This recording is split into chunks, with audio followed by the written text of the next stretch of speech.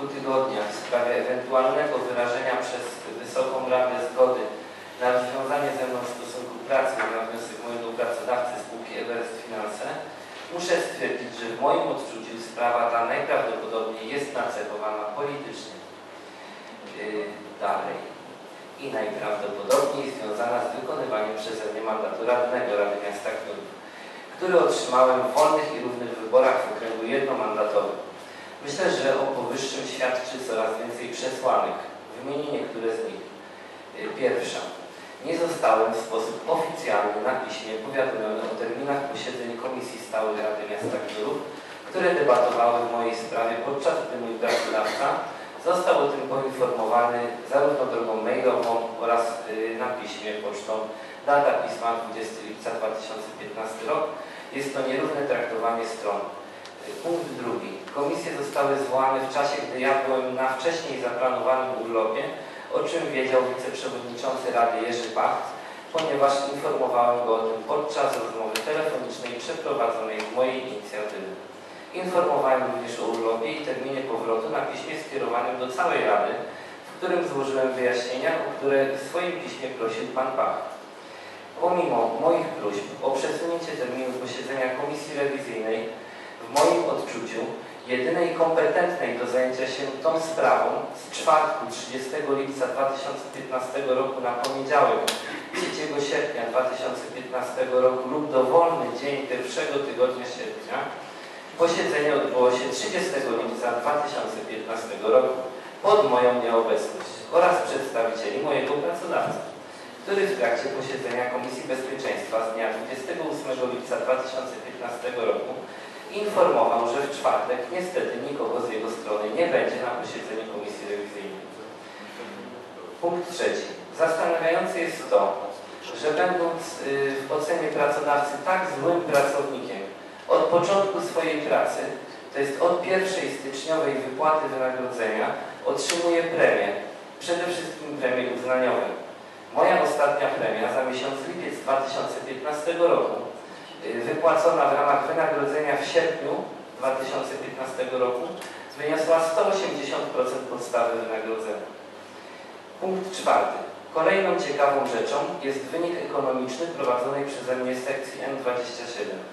Jaki on jest? Dodatni, ujemny, zerowy? Nie wiemy.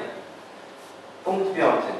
Uważam, że jeśli radni mieli jakieś pytania lub wątpliwości w tej sprawie kierowane do mojej osoby, powinni na piśmie poprosić o dodatkowe wyjaśnienia.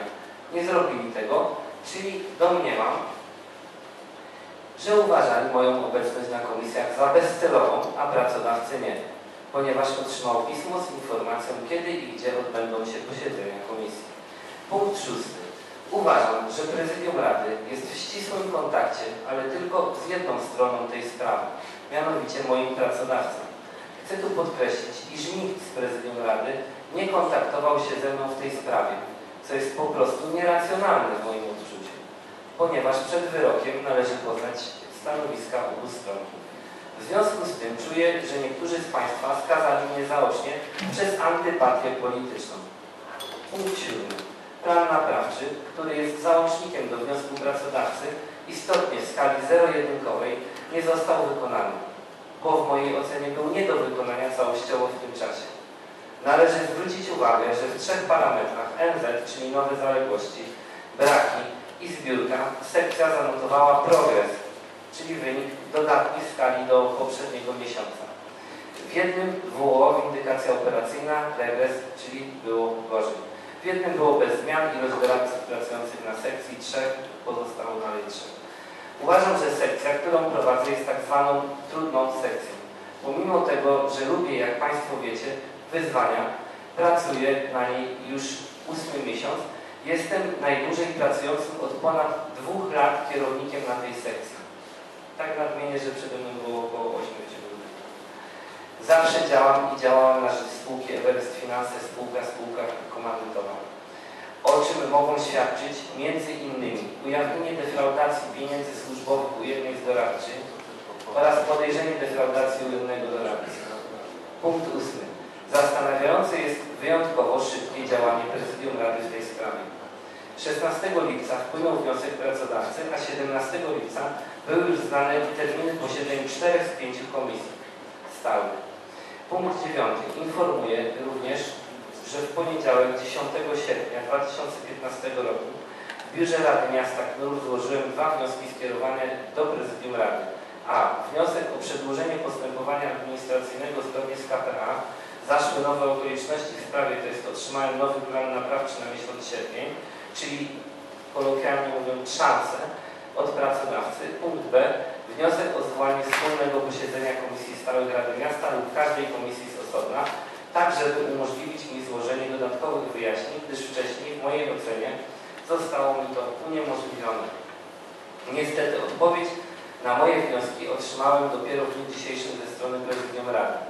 W odpowiedzi zaznacza się, że sprawa ta nie jest procedowana trybem kodeksu postępowania administracyjnego. Pytam więc, jakim trybem?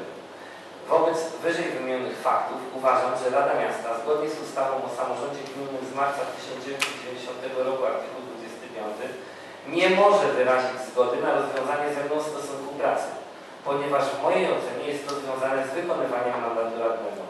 Oczekuję, że postąpią Państwo zgodnie z prawem wznosząc się jednocześnie ponad osobiste animozje do mojej osoby, nie wyrażą zgody na rozwiązanie wyżej wymienionej umowy, która jest umową na czas określony i obowiązuje do końca lutego 2016 roku. Tutaj jeszcze, Szanowni Państwo, chciałem y, nadmienić, tutaj sobie przygotowałem takie luźne notatki.